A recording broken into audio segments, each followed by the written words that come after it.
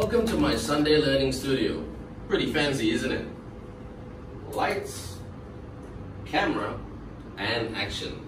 All the action happens right here on the interviewer's chair. Last week, on episode one of my interview with Raelene Castle, the former CEO of Rugby Australia and the current CEO of Sport New Zealand, we spoke about how Raelene got her career started. Many of you reached out to me and gave me feedback about the content of the show and how you perceive Raelene during her time as CEO of Rugby Australia. Many of you gave me feedback, especially Australian rugby fans. Some of those comments were positive, some of those comments were very constructive.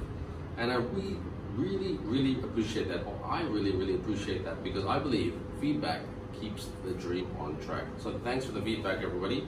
But today is part two of my interview with Raelene. And today we speak about all things leadership. I got this part of the conversation going by asking Raelene about the question slash the topic, will we see more women leaders in the sports industry? There's no reason why women can't step forward into these leadership roles. There's no doubt, though, that um, you know, having a sponsor is important. Having um, those male, um, they don't have to be male, they could be female, but certainly in the traditional uh, background, having um, so that you know those corridor conversations or phone calls that happen. Is oh, i'm looking for someone to be the ceo of this organization. Um, who would you recommend? Who do you think's good? Who do you think's capable? Is making sure that some of the names that get put forward in those types of conversations are the women's names and the men's names because that's the informal you know conversations that happen that are really important to set the expectations from well respected people um, and that was has been an important part of, of the work that I've done to build those networks so that you do have those people um, that will talk positively and support you in your career um, aspirations. Um, and you know having that, that group of sponsors that are prepared to get in, provide, in behind and support not I don't mean sponsors as in people that are going to put their names on the front of jerseys I mean you know mentors and sponsors that are going to help you step forward and not only help you get the job, but when you get the job, actually have your back and give you the good advice and support you and help you um, through those early challenging times, as we all do when we start new jobs. So, um, uh, you know, I definitely think some of the roles that I've done have meant that there's young women that now believe it's possible and they've seen me do it and now they go right now i've seen that i believe it can happen i think that's helpful but you also need that that support to get you um, you know on the ladder and then support you when you get the job. In one or two sentences, how would you best describe the Raelene Castle leadership style? Uh, it's inclusive. Um, I like um, seeing people improve and, and become better uh, than you know what they were when I started working with them. I'm not afraid to um, employ people that are better than me or smarter than me if they're subject matter experts. I think the the challenge of leadership is to bring that group of diverse people and personalities together to make them a high performing team. So that's certainly uh, the focus that I have when I'm CEO of an organisation.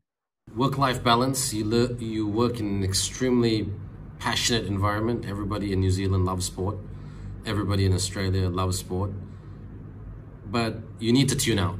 So, how do you tune out and just get away from all the noise? I really enjoy the beach, certainly over summertime when the weather's good. Walking on the beach and swimming in the salt water, I think, is a really good, good for the soul.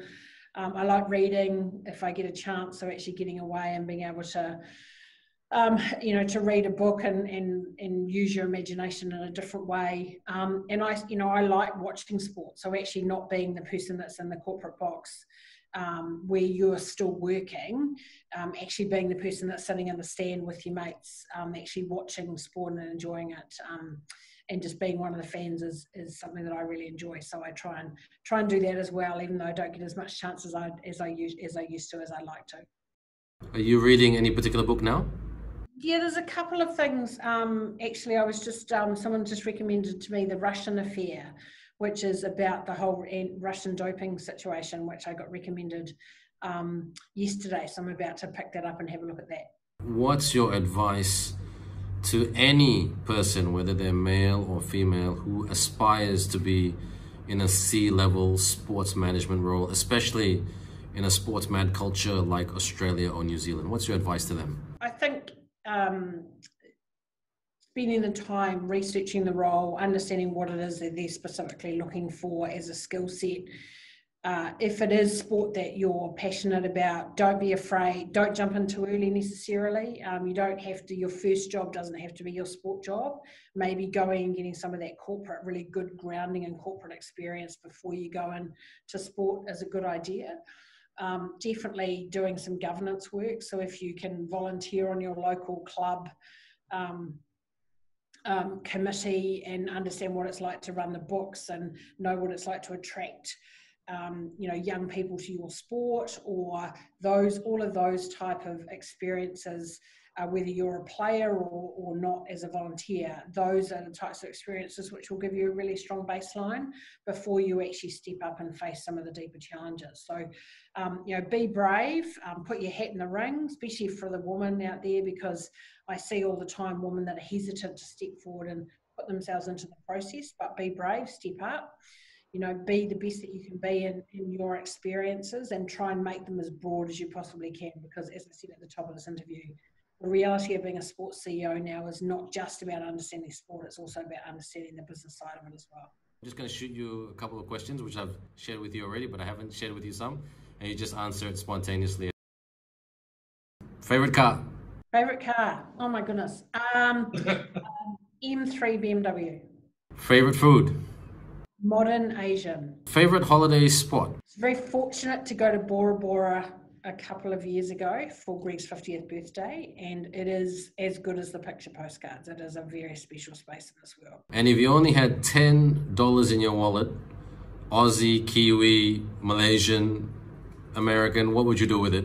If it was the last $10 I ever had, I'd probably yes. find find my friends and see if we could get a drink for five dollars somewhere and and uh, sit together and have our on a beach with a beer and uh, watch the sun go down. An actress that would play you in a movie. Someone has said to me one day, you should have Drew Barrymore. You were born in Wagga Wagga, Australia, but you grew up predominantly in New Zealand.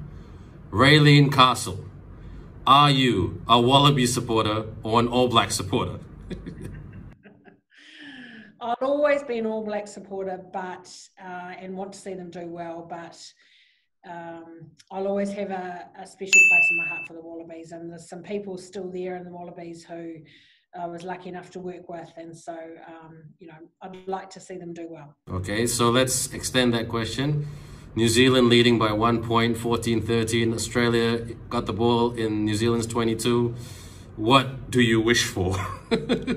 I just wish the referee doesn't decide the outcome of the game. Look, Raelene, it's been a very, very great conversation. Anytime you want to come back on Sunday Learnings with me, Ben Ibrahim, and tell some very good stories, rugby or not, you're more than welcome. And look forward to our friendship and keeping in touch and, you know, telling more great stories the Raelene Castle way. Thank you so much. Have a great day. Thanks, Thanks for having me. Spaghetti and the marshmallows.